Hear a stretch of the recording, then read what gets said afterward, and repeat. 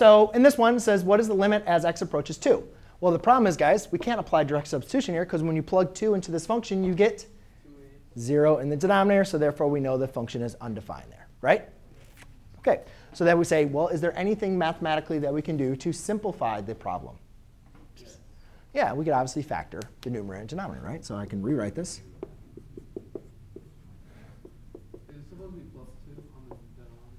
Huh? So I could do this as x minus 3 times x plus, I'm sorry. Dang it, that's supposed to be a plus. Sorry, I had to change that last minute.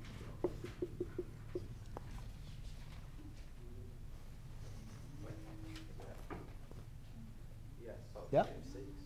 So therefore, we can obviously see that that simplifies to give us the limit as x approaches 2 of x plus 3.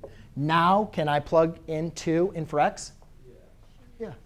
But don't you have to go back to the original equation? You could. No, you can't. You can't plug 2 into the original equation. That's why we had to simplify this.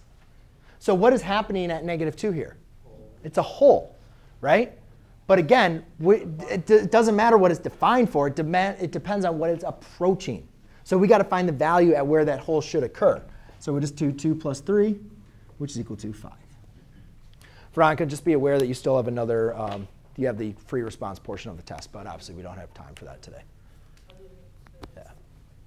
OK. Do you guys want to look at the graph to confirm that?